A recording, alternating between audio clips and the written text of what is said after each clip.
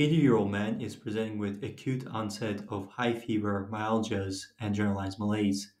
He is given oseltamivir for treatment. Which of the following is most likely impaired in the patient's infected cells as a result of treatment?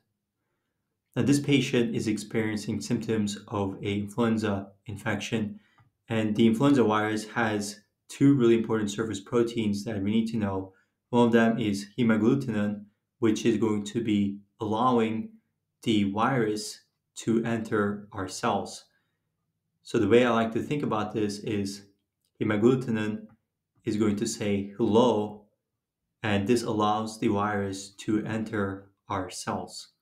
And this causes, or this allows the virus to cause an infection.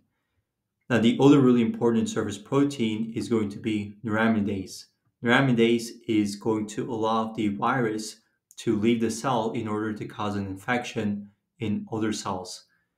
So the way you can think about this is neuraminidase is going to say nice to meet you and it is going to then leave this cell in order to cause an infection in other cells.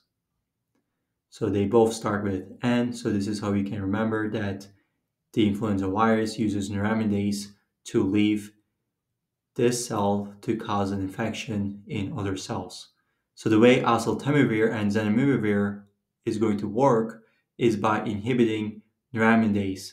And so if we inhibit neuraminidase, then we're going to block the ability of the virus to leave the infected cell to cause an infection elsewhere. So we're basically going to be limiting the ability of the virus to spread in our body.